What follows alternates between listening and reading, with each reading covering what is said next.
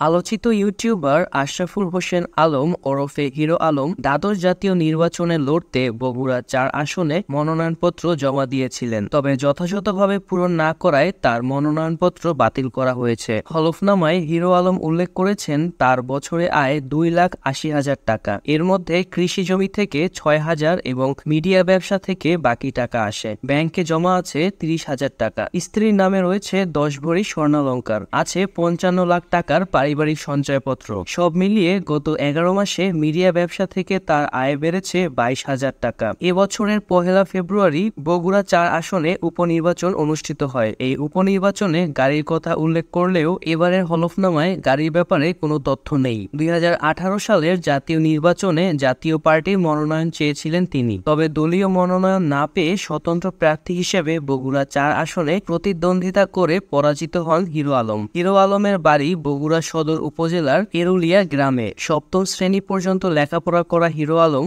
একসময় কেবল নেটওয়ার্কের ব্যবসা করতেন। দুই হাজার আট সালে তেইশ বছর বয়সে তিনি মডেলিং এ যুক্ত হন। এরপর নিজের অভিনয় ও গানের দৃশ্য রেকর্ড করে কেবল নেটওয়ার্কে প্রচারণা করতে থাকেন। এতে এলাকার মানুষের কাছে জনপ্রিয়তা পান। দুই হাজার ষোলো সালে হিরো আলম নামে ফেসবুক পেজ খুলে অভিনয় ও গানের দৃশ্য শেয়ার করতে শুরু করেন তিনি। এরপর থেকেই নানা বিতর্কিত কাজ করে আলোচনায় রয়েছেন তিনি।